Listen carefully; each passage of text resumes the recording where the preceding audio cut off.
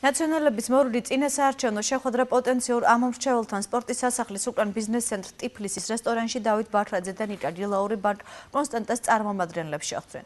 შეხვედრა კვლავ ფარული და დასაიდუმლებული იყო ბიზნეს ცენტრ ტიფლისთან შეყრებილი საზოგადოების ნაწილი ამბობს რომ არ იცოდნენ ვის უნდა შეხვედროდნენ. მეორე ნაწილის თქმით ხელისუფლების წარმომადგენლებმა ისინი შემეცნებით თემებზე სასაუბროდ დაიბარეს.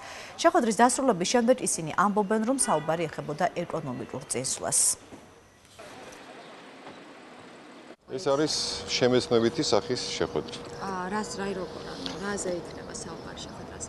რაზე იქნება ალბათ დღეს გავაცნობენ ამაზე და დღეს გვეტყვიან. ასე რომ და ანუ შემეცნებითი შეხვედრა ბანკის თანამშრომლებთან, ხო? არა მარტო ბანკის თანამშრომლებს, ზოგადად მოსახლეობასთან. დეტალები არ ვიცით სამწუხაროდ, ანუ ჩვენთვისაც სიურპრიზია და რომ მივალთ ვნახავთ. საბანკო ასოციაციასთან იყო შეხვედრა, ბანკები ვიყავით უბრალოდ. და რაზე იყო საუბარი? აა ზოგადად ქვეყანაში განვითარებულა ნუ ეკონომიკა როგორ ვითარდება, ბანკების როლი ეკონომიკაში და ასე შემდეგ.